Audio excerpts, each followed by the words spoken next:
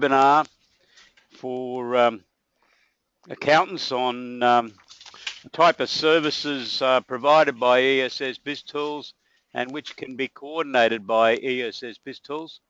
We hope you're having a uh, very nice day and um, we look forward to delivering this special webinar to you.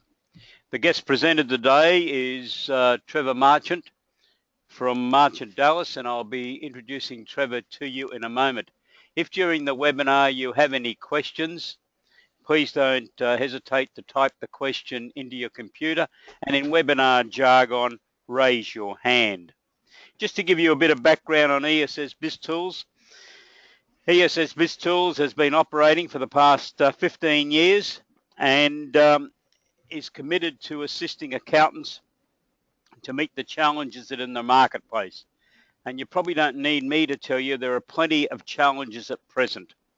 Our particular expertise is assisting accountants to provide a wider range of commercial services, generally known as business advisory services, and we would welcome any inquiries that you might have on our products and services.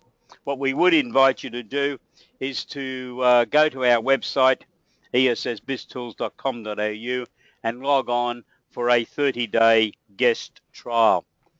We're also launching in next Tuesday a special website for small business and one of the key aspects of the ESS small business website is going to be a find an accountant advisor directory which will include accountants who are associated with ESS BizTools who are supplying uh, business advisory services. So if you need any further information on that, please don't hesitate to contact us. It's now my privilege to introduce you to Trevor Marchant. Trevor is a professional speaker, trainer and consultant and is a senior partner of Marchant Dallas, an international training and consulting company based in Sydney. Trevor's a highly successful entrepreneur, having built four businesses, one of which is now a multi-million dollar turnover company. Trevor Marchant has worked with a number of the uh, ESS BizTools clients over the uh, accountancy firms, subscribers over the years, and with their uh, SME uh, clients. So without further ado, it gives me great pleasure to welcome Trevor Marchant uh, to this presentation today. And I'm just now transferring the presentation across to you, Trevor, and away you can go. Thanks. Okay, thanks, Peter, and thank you, everybody, for the opportunity to share a few ideas with you this afternoon. Um, I'll just start very quickly by positioning us. Um, basically, we help accountants and their clients reach the next level by showing them how to get the most out of everything they've already got, to stay focused on what re what's really important to grow your business exponentially, and to attract a consistent flow of quality clients. So the positioning statement, basically the two, the two points of difference here, I guess, is one, we work with you and your clients as opposed to other service providers, a lot of other service providers, and two, uh, our emphasis is on the how. You already know what you have to do. Sometimes it's a question of, well, how do you do it? Um, we have three basic service offerings. We have our Business Growth Masterclass series, which is a 12-month program for accountants and clients involving a series of workshops and coaching sessions. And about 57 firms have now been through that, along with about 5,000 business clients. All up about 30,000 people have been through our programs, including this next one down, which is our two-day sales skills course, which is I'm going to talk a little bit about today. And the final offering there is a product called the Growth Factor, which is a simple, easy to use business consulting tool that any accountant on the planet can work with their business client and show them how to grow their business and at the same time make a couple of dollars. One of the uh, one of my past lives, I used to be the head of training for Westpac uh, back in the 80s, and obviously uh, from that, you know, you, we, you learn a lot of different models and ideas as to how to go best about training people.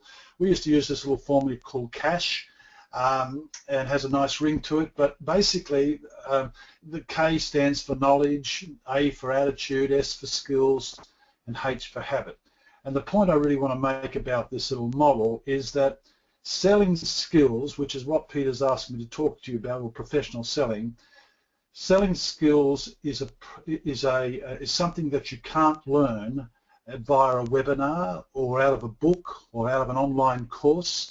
Uh, selling skills is something you learn face to face with a master sales trainer and or in a classroom situation in a course.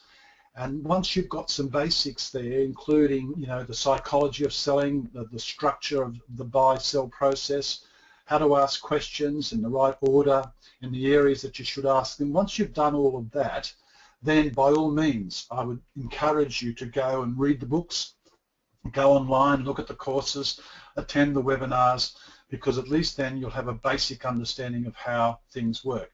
I probably read a book at least every other week on selling. So we're, we're always learning, but I just want to make the point that it is a skill and it needs to be taught in a face-to-face situation. Uh, I want to make a point about the A, which is for attitude. Um, I see that as what I call the multiplier. In other words, all things being equal, knowledge and skill, uh, attitude is the thing that takes you from mediocrity to greatness. Uh, it's it's the, the old glass half full, half empty concept. And really, if you're going to get into this selling arena, and I'll give you some reasons why I think you should, uh, then attitude plays a really big part of it. Over time, as you practice your skills, like anything, including what you're doing now, you form habits. And it's habits that determine our future. So with that in mind, I'd just like to put some why, some context around sales training. Uh, some time ago, and I guess this is between, say, the Fraser and Howard governments, including Hawke and Keating in there, it was a pretty good time to be in business in Australia, in fact, all around the world. Um, people bought with abandon. Uh, it was very consumer driven. In fact, the fish were almost jumping out of the water into the boat as using that as an analogy.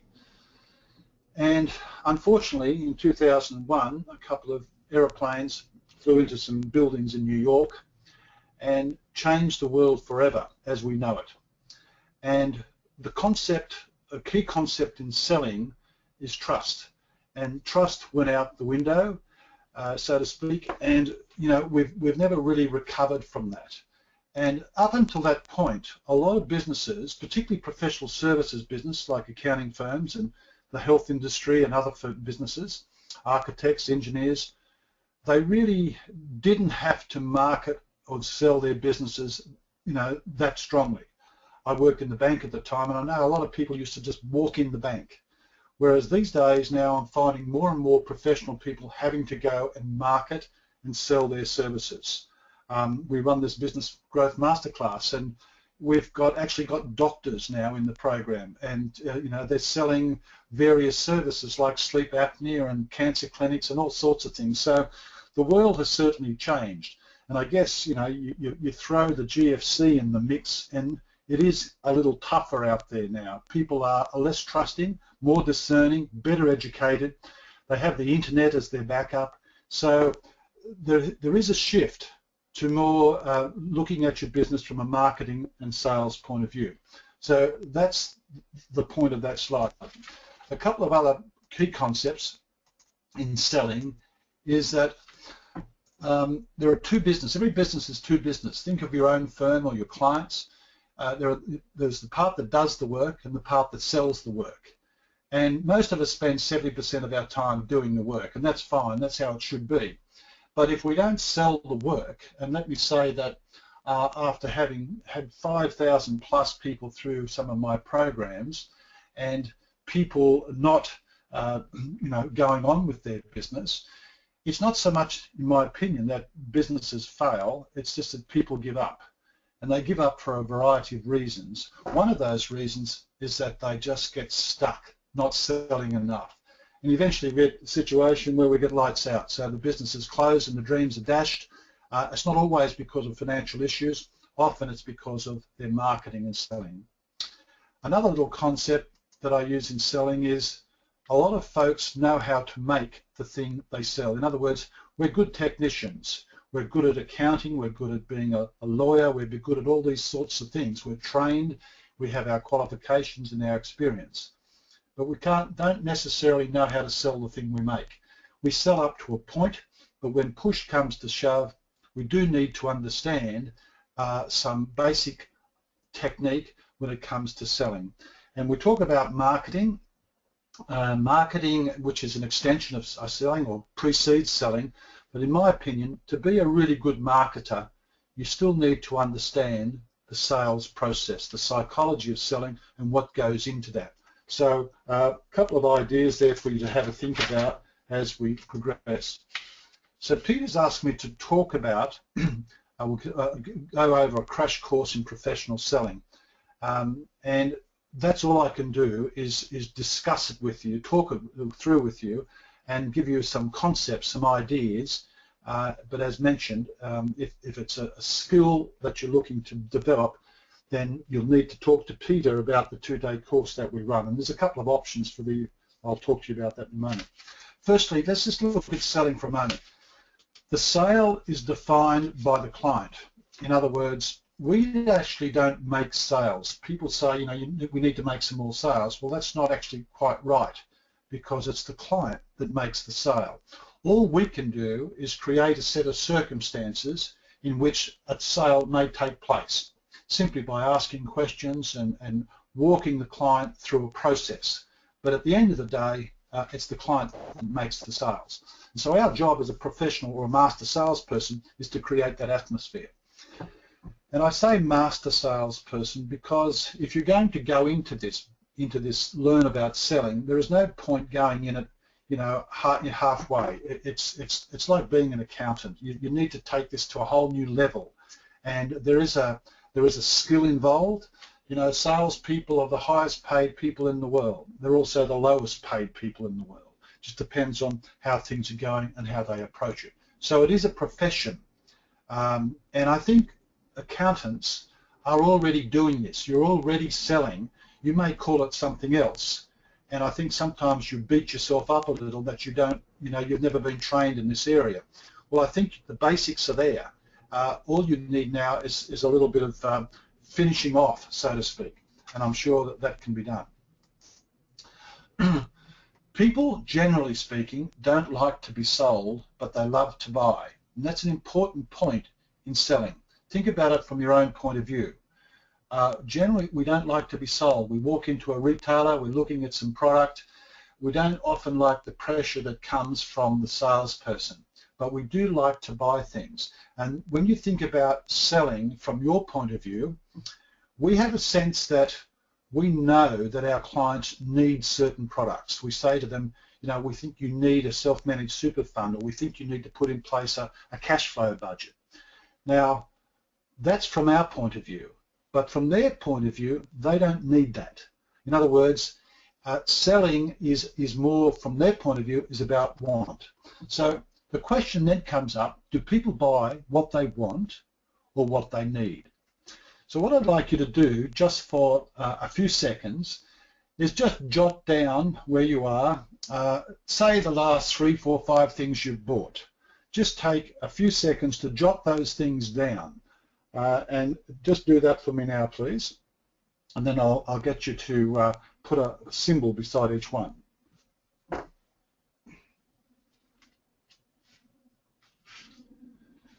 Okay, so let's just have a look at that. Now, you may not have got one or two down, but maybe you've got some coffee, perhaps, you know, a CD, or you bought some milk, or you bought some petrol, or you had lunch, or bought some groceries, or you bought a golf stick, or a tennis racket, or something like that. It doesn't matter.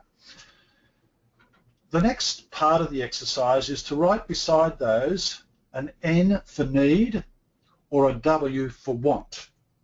I'd like you to do that exercise for me now. Just put down a W for something that you wanted to buy and an N for something that you needed to buy. Now I know that you all need coffee from time to time, but the truth of the matter is we probably wanted the coffee. Having done that, and you can continue this exercise later, what I'd really like to make the point is about this is this. there are some things that we need. What we need, and if you're a, a student of psychology, you might recall a guy called Abraham Maslow, who developed a pyramid of hierarchical needs. And what Mr. Maslow was saying is that we need food, shelter, warmth, clothing, air, water at a basic level. We need safety. We need a fence around us. We need some love. In other words, we need to interact with humans. Uh, we need to feel good about ourselves, self-esteem, and we need to make a contribution. We need to feel like we're actually contributing to a bigger picture. So they're our basic human needs. But when it comes to fulfilling those needs, we actually buy what we want. So if you're feeling hungry, for example, and that means the body needs some energy, so you need to put some food in there, you've got a choice. You can have an apple, you can have a, a, a can of Coke or a pizza, it doesn't matter. My point being is, as a seller, we feel that people need our things, our products and services. But as a buyer, we buy what we want. And that's the dilemma that we face in selling. Selling is a very emotional uh, exercise, and what we have to do as salespeople, uh, professional salespeople, is find out what people want and why, and then we talk to them about how we and our firm can help them get it. In fact, if we were to go through some of the major department stores in um, in Australia, let's say we go through DJs or Myer, and apart from bags and shoes, ladies, there's nothing in those department stores that we actually need. Uh, they're all built on want. So have a think about that as we progress. Um, here's a definition for you of selling. Selling is getting someone to do something they would not otherwise do. Now, that isn't saying selling is getting somebody or convincing somebody to buy something they don't want. That's a different type of selling. That's peddling. That's the old snake oil approach to life. We're talking here about professional people selling professional services in a professional manner. So selling is getting someone to do something they would not otherwise have done. If they would otherwise have done it, they don't need you. So our job is to ask the questions and at some point persuade or suggest to people that they might like to try this idea or try that idea to solve a problem that they could be having. So that's the definition we're working on. In fact, selling, if we go a bit further, it's about giving, giving time, attention, counsel, education. It's about empathy. It's about leadership and value. Um, in fact, the, the word sell comes from an old English word called selan, which means, you guessed it, to give. It's a bit like if you're in a sales role, you're in a leadership role, you're in an educational role. If I'm uh, feeling hungry and I decide to walk across the street to Fred's pie shop and ask for a pie, I'm probably going to ask Fred which pie I should have. He's going to ask me some questions and he's going to recommend a pie. In other words, I'm looking to Fred for leadership. The same thing applies in our business, in the business of accounting or what other other professional services. People are looking for leadership. So if you're in a sales role, you're in a leadership role because you're actually walking people through a process. But we need to know what this process is. One of the greatest salesmen in the world ever was Nelson Mandela. Think about this guy for a moment. You know, 26, 27 years incarcerated uh, for perhaps uh, he, where he shouldn't have been. Uh, came out of there, still had a lot of forgiveness and love in his heart. And over a period of time, he actually managed to talk to some people, a ruling power, a white ruling power, to give up that rule and to take the whole nation to a general election where there was a shift in power, a massive change in power, and he became the president. So one heck of a sale made right there. And that's, in other words, what this he did was he suggested to people that they might do something that they would otherwise not have done. And there's no way they would have done that unless Nelson Mandela had the knowledge and the skills to take it forward. people, if they like you, and if they believe you and they trust you and they have confidence in you, then they may buy from you. The fortunate thing, the good fortune for accounting, for the accounting industry, generally speaking, is that, well, I should say the financial services industry, is that accountants are listed at the top. You know, in the overall scheme of businesses, pharmacists are regarded as the most trustworthy people in our market, pharmacists. Um, but if we look at financial services, it's accountants that are up the top. Uh, there was a time years ago, I know when bank managers were up there because I used to be in a bank, and uh, but that's changed now. So the good thing about that is that your clients and potential clients see that in you. Um, and they're the sorts of things that we need to continue to work on uh, from a sales point of view, making sure that they've got that. Also worth remembering that people don't buy what you do, they buy why you do it. What you do is then the proof of why you do it. So what I really mean by this is if we walk out your front door, look left and look right, excuse me, there's probably a lot of accounting firms up and down Main Street all selling similar products and services. So why would I choose you? The reason I would choose you is there's something about you that has attracted my attention to you. In other words, there's a point of difference in place. There's a why coming through. You've actually come through. You see, I'm going to buy from you if I believe in what you're doing, uh, if your passion comes through. So have a think about that people don't buy what you do, they buy why you do it. That's why it's critical in what we call a sea of sameness across the accounting industry to have some form of point of difference that you can actually, that you can drive your marketing with it, drive your referral programs with it, and drive uh, everything to do with your, your marketing and selling with it.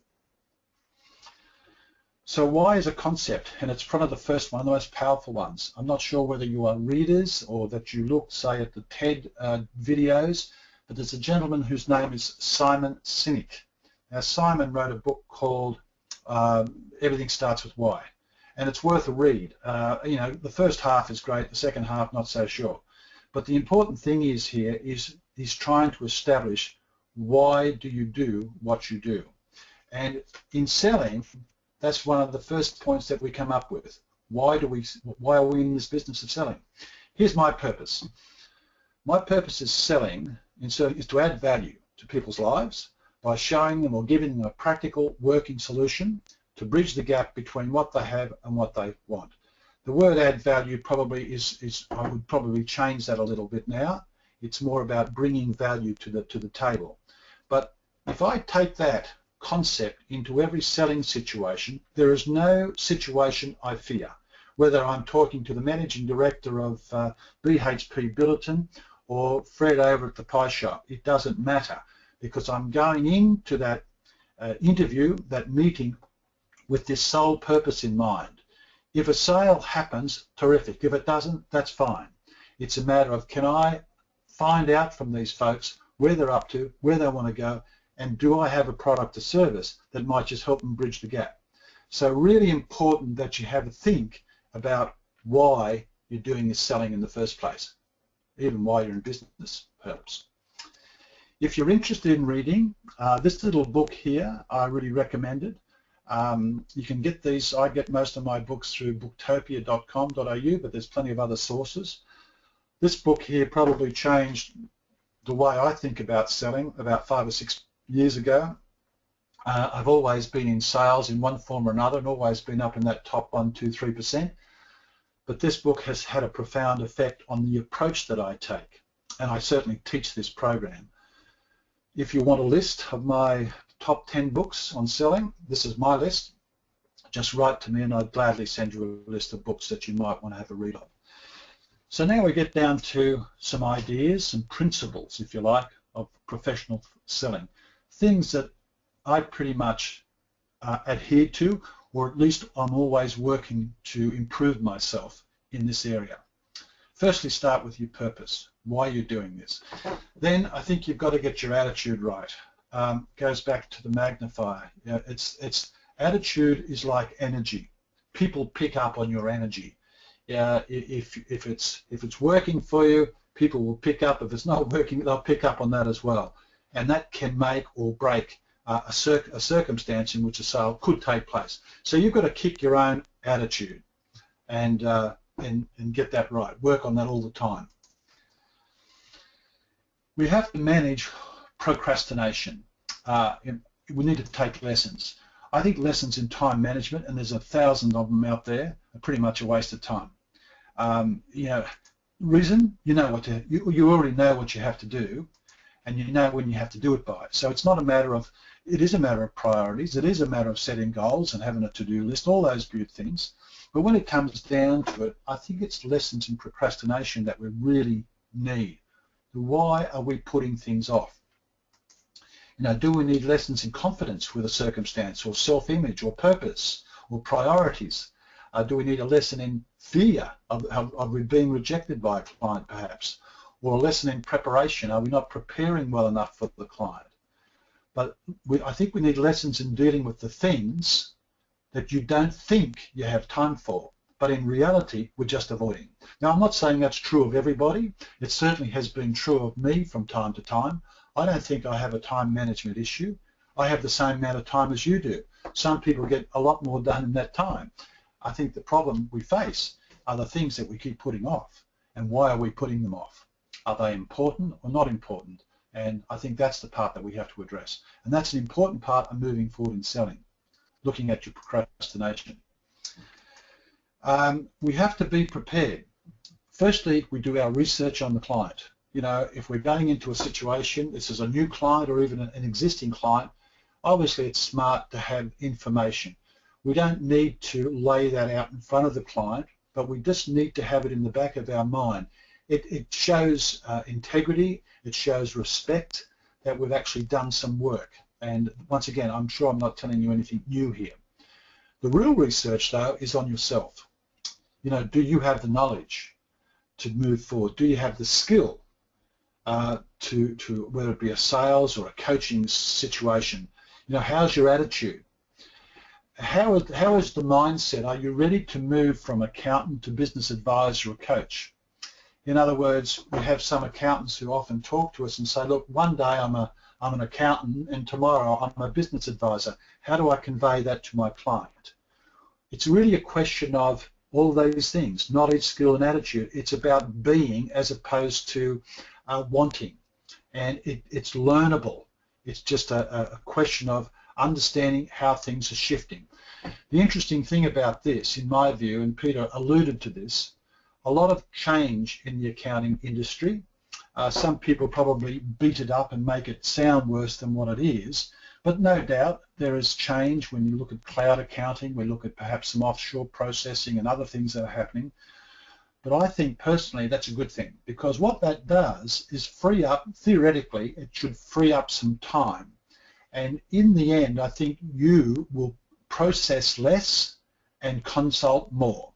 Now, if you're going to do more consultation, that puts you right in that business advisory space or business coaching or consulting space. So that means you need some products, ones that work, and you need to know how to position those products and how to sell those products and how to sell them to the benefit of the client. Uh, so that's where I think this whole industry is moving slowly, but that's where it's moving. We also, what else do we need to make this happen? What's when we do our research on ourselves, what do we need and why do we need it? It's all about value. Um, I mentioned this adding value, and it's hard to stop saying that that phrase. But frankly, I think it's it's not right because it's almost like we do a job and then we add some value. I have a different view and I, I'm, I'm teaching myself to say the right words, but it's it's about being valuable. It's about perception. It's about you, the valuable person, and the value you bring to the table. We get paid according to the value we bring to the table. That's it. Um, your value is built in. It's what you do and say. Think about your training. Think about your experience, the years that you've been doing this. That's the real value. It's not something we add on at the end. We can provide other small services here and there, that's fine. But I don't see that as adding value. I think that's just service. That's just taking your service level to another level. Uh, you are the value in my opinion, and value starts before the sale and doesn't stop after the sale. It's just who you are. Uh, it's, it's dealing with somebody who is valuable and sees themselves as a valued person. And if this penny can go down, if you can get this, eventually you will get away from these discussions around price and service and quality. And price will not be such an issue moving forward because people will see clearly see the value. Um, I've said here stop selling sugar. And what I mean by that is, is often in business, and I think there are some products and services you have that can be seen as commodities. And unfortunately, it is sort of moving that way a bit. Sugar is a commodity. We have to stop selling commodity. Um, we need to, in my opinion, look out who is our ideal client, what are the demographics and the psychographics of that, what specific challenges do they face in their words, not our words, but in their words. Who is your competition and what are their strengths? Uh, we don't want to know about their weaknesses. We're going to beat people on their strengths. Who are you collectively and personally? What do your clients love about you? How are you stacking up by the measures your clients care about in areas your competition may be overlooking? They may not be doing business consulting or coaching, for example. So there's some areas there that we need to explore further and I guess get away a little bit from selling sugar. And we certainly need to learn to speak prospect. We need to start listening to what these folks have to say and trying to feed those sorts of words back to them. It's about relationships, as mentioned. Um, it's about finding out what people want and why. This one sentence here, I call it the one sentence sales course. Uh, we take two days to teach this. Uh, it's because it's about asking questions. It's about uh, asking questions in the right order. It's following a sequence and making sure that you cover all the bases. But this is a process which allows you to build strong relationships, relationships that will last forever. As you know, when you go into a, a with a new client or an existing client, it's always about the long game. We've got to always be playing for that long game listen to them, summarize what we've got, develop a plan, get agreement, uh, list the action steps, who, what, when, how, and why, and then implement and measure. So essentially, that's a process that I try to follow, well I do follow, uh, with, our, with our relationship building. We need to understand their buying motives. Why do they buy and why don't they buy? It's important for you to ask this question when people buy from you. It's almost like saying thank you for the product, thank you for the service, thank you for being with us. Just remind me again why you chose us. We need to keep this information uh, warm. We need to understand constantly why they're buying. People won't buy from you for four reasons. No need, no honey, excuse me, no money and no trust. Trust is captain of the team. The first three are generally objections it's a bit like saying, well, look, it sounds like a great idea, love to do that, but right now I've got some other priorities. Look, I'll get back to you in three months' time. So there we have a reason for not buying, going ahead, a no hurry, but it's largely an objection. And we can learn to deal with the no needs, hurries and money. We can, we can deal with them sometimes. But if there's no trust, then there's no deal. And constantly we have to keep working on building our trust. And that comes about by delivering on your promises and doing and going above all the time. It's almost like you do something and then some. So people buy from you to solve a problem, uh, and that's ongoing. And problems always manifest themselves as feelings. Goes back to the want-need thing again. If you're, uh, you know, are feeling a little hungry at the moment for whatever reason, you, your, your body is saying you need some energy. It gives you a problem by give, sending you a, a pang of hunger, and you sense that as a feeling. It's the same applies to everybody that's out there in the marketplace. All, all problems, in other words, where they are and where they want to be, eventually manifests as a feeling. That's why in selling, it has to, we have to get into that emotional side and ask the feeling type questions. They will buy you for those things on the right because they like you, they trust you. People will actually buy from you even though you might be a bit more expensive than the guy down the road, the gals down the road, because they like you and they trust you. All those things are very, very important. So, um, so we do under, need to understand their motives, and motives change. That's why we need to keep doing these little mini surveys whether they be formal or whether they be informal, but we need to constantly find out why people are buying from us. Point number nine is always in selling, you have a purpose of selling, but you have goals in selling. In other words, you need to establish what your goals in selling are, whether they be increased turnover, X amount of dollars, or whatever it might be, so many new clients, so many new clients with so many different products, that's up to you. But once you've worked those goals out, then look at those goals, the, the, the output of those goals from your business and from your selling as, as the energy or the fuel to make sure that you've got some personal goals in place. I'm a strong advocate for all clients and accounting clients to have goals in their health, their wealth, their personal wealth, their self in terms of growth, their relationships with their with their family, with their with their community, with their clients, etc. And also in the area of time, what you really want to do with your time given the chance.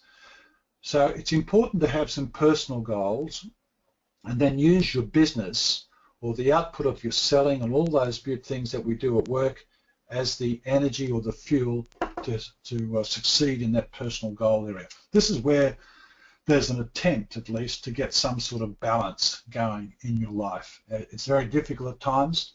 I think it's a myth, work-life balance. I think life is a balancing act and it's okay sometimes to work 14 hours a day. Other times you just need to work a couple. So it just depends on the business, I guess. Uh, point number 10, I've just listed as some laws. Um, there are laws in selling, and the first law, it's a principle law, is that we all want to be happy. So everybody, unless you're coming from a completely different place, most folks want to be happy. So when they come to see you, they want to be happy, but often when they come to see you, they're not happy because there's something going wrong in their life. There's a, there's a problem and that problem is a feeling, and that feeling is affecting their happiness. The second law, happiness is relative. So what makes one person happy doesn't necessarily make the other person happy. So we need to gauge that.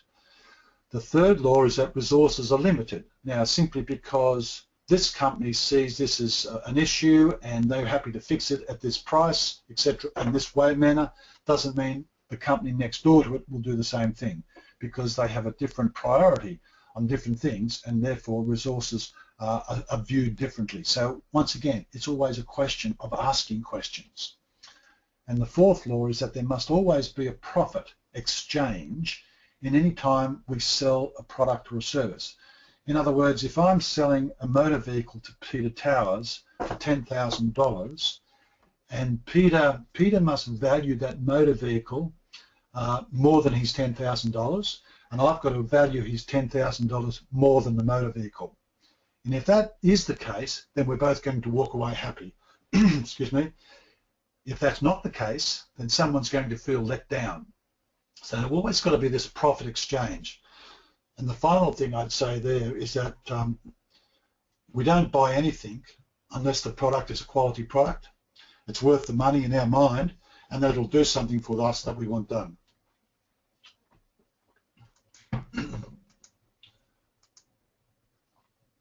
Now the what I call the myth busters. over, over enthusiasm in selling is not necessarily a virtue. I think passion is passion for your product, passion for your business, passion for the client. But the last thing I want is an over enthusiastic salesperson sitting in front of me because it often sends the wrong message. So just think about that. Uh, we need to be uh, passionate about what we do, otherwise we shouldn't be doing it. But enthusiasm sometimes can lead us down the wrong path. Sales success is not about convincing people, I said that before. You don't have to answer every, objection. In fact, the salesperson that answers or tries to answer every objection is usually on a fairly low salary, a low commission, um, because it doesn't come across as sincere. You're better off to say, great question, I have no idea, I'll get back to you. So that's okay. Quiet people will always outsell noisy people. I have coached and trained a lot of people over a period of time, and uh, I know this for a fact. It's it's often those folks that are just quiet, going about their business, that will be the great salespeople. We don't need to be a smooth talker. that's uh, that's not not important, and we don't have to motivate people to buy. In fact, we can't. They motivate themselves. We just create circumstances in which a sale might take place. And finally, you don't have to reinvent your personality. I've often been uh, told, mentioned to me by accountants, and we've trained probably over two or three hundred now uh, accountants have been through their two-day course, where they say that you know they don't see themselves as a salesperson. I think you are. I know you are. It's just that you don't know that you haven't got the skills. And uh, well, in some cases you haven't got them. A lot of you already do have those skills. So it's just a matter of polishing them up. Uh, number 12, always ask for the business. Always be asking. If you feel you have done a good job with this client, new client or an existing client, doesn't matter, that ethically, morally, legally, you've covered all the bases, um, and that they are going to be far better off with this product or service than what they were before, then it's you have an obligation, in my opinion, to ask for the business. How you ask for it uh, needs some tact, it needs some coaching, uh, it needs some training, and we use some techniques called trial closes there which, uh, which, which help us because trial close only asks for opinion, it never asks for a decision. And based on the answer to the trial close, we know what to do next. The last point I want to make is that uh, it's what I call the sales paradox. When I stop trying to get what I want and start helping other people get what they want, I actually start getting what I want. Zig Ziglar, a mentor of mine, passed away recently. Uh, he was a quite a quite a trainer and salesperson, uh, well world renowned. And if you can grab any of his books or tapes, I would do so. But he used to say that you can get anything in life you want, providing you help enough other people get what they want. And that's largely what my attitude towards it. I know it's Peter's attitude towards going out there, simply seeing how many people uh, we can help, and if we can help somebody, then fantastic. Stuff begins to flow back our way at some point in time. So just to put some numbers on this, because I am talking to accountants, so it's important that you understand the numbers. Here's a little case study. It's a very simple one. We've got 200 leads coming in, 50% conversion rate, making 100 sales. Every sale's worth $1,000, so turn, turnover is about 100,000. No repeat business. If we do the sales program, the two days course, the immediate effect will be an increase in conversion rate. Uh, that will be the obvious thing that will happen because of the process and the ability to ask the right questions at the right time and lead somebody through a process. In this case, I've just uh, increased my conversion rate by 40% from 50 to 70 and you see a corresponding increase in sales revenue. That's what happens. But the real exciting stuff is when you get good at the sales skill and the marketing goes with it, a simple, you, you begin to apply your sales skills to other areas of the sales pipeline. In other words, we begin to actually attract more leads. We get better at that through networking and advertising, all those sorts of things. We increase our conversion rate, we make more sales, we actually get more of the average dollar spend. We're able to look at um, upselling a bit into different products and services. And then obviously we get them to come back more often or refer clients. In this case, I've just taken a 10% across the board. And as you can see, just by increasing those things by 10%, we get a 46% increase in revenue. That's how I'm able to help some businesses grow from anywhere from 30 to 40% to, you know, 200, 300%, depending on the size of the business simply by looking at the profit drivers and increasing their sales and marketing within their business. So here are my 12 and a half points. Um, and that's all they are. They're just an idea. They're just guides. Uh, I stick to them as close as I can, uh, apart from always learning more and trying to improve my skills in this area. So that's something for you to have a think about and take away. And I guess at this point I've, I've sort of come to a conclusion and if you're interested in doing our two-day sales course, which I mentioned before, about 300 accountants have already been through that program, um, then it's just a matter of talking to Peter about that. And there really are probably two ways. One is Peter will, and with myself, will probably put on some, we will put on some uh, sales courses in, in, certainly in some of the capital cities and maybe regional areas over the next 12, 18 months. Second way you can do it, and this is what a lot of firms opt to do, and we've had several firms do this, is that we can actually come to you where we can do it within your location. We'd like to get about 20 to 24 people together and uh, that can be a combination of uh, your staff as well as uh, clients.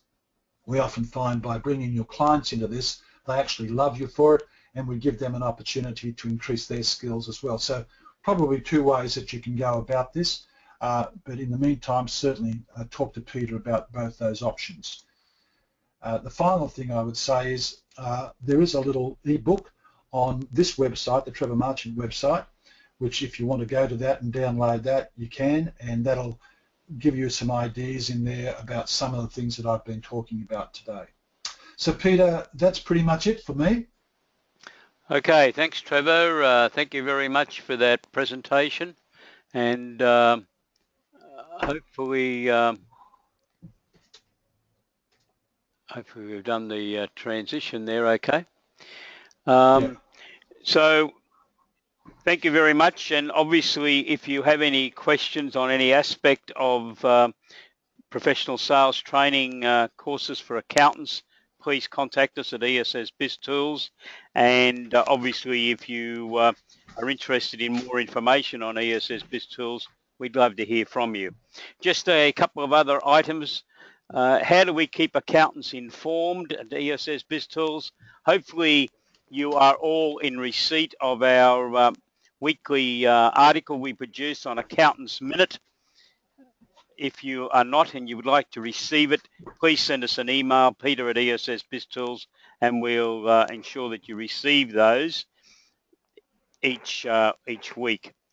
And the other uh, item we produce as far as keeping accountants informed is on a monthly basis we produce a business advisory news for accountants article looking at a contemporary uh, item relative to the challenges currently facing accountants in the marketplace. If you're interested in receiving that article and you don't currently receive it, please uh, send us an email and I'll make sure that you're included on the uh, distribution list. Upcoming webinars. Uh, next week on Wednesday the 23rd, we have a webinar on government grants, business growth grant is a very popular grant, up to $20,000 on a 50% basis to basically undertake any activity which will potentially improve the business's performance. It's available for about 550 business types. It's not available for every type of business, and we'll be happy to share with you how your clients can participate in those grants on Wednesday the 23rd. Please go to our website to register. The next uh, webinar in this series is on the 6th of October at 12 noon and we're back to um, daylight saving then so it's 12 noon Australian Eastern Standard Time and 1 p.m. Australian Eastern Daylight Time and uh, for you in South Australia, Northern Territory and Western Australia, and I know we've got a few of you today, um, I'm sorry we haven't got your times, but you basically got to adjust it by the difference between yourself and Australian Eastern Standard Time. And um, hopefully you can join us with Steve Owen from On the Level uh, HR for a human resources issue uh, for accountants, but, but with a particular emphasis on DISC profiling. So also just a uh, separate uh, item to talk about on the uh, uh, 22nd of September, I'm presenting a uh, Smith Inc. Uh, webinar. It's uh, titled uh, Do You Rate 10 out of 10? It's available for Smith Inc. Um, subscribers or you can go and join for a one-off webinar if you wish. 22nd of September next week at 12 noon Australian Eastern Standard Time. Do you rate 10 out of 10. So thank you very much for uh, participating in this webinar today. Please go onto our website and apply for a guest login so you can have 30 days viewing of ESS BizTools. And on behalf of uh, Trevor Marchant and myself, thank you very much. If you do have any questions, no one sent us in any questions today. Uh, if you do have any questions on any of the matters that Trevor mentioned to you today in his uh, well-presented uh, presentation, please uh, send me an email, peter at essbiztools.com.au, and we'll get the reply back to you. Have a wonderful day. Thank you. Goodbye.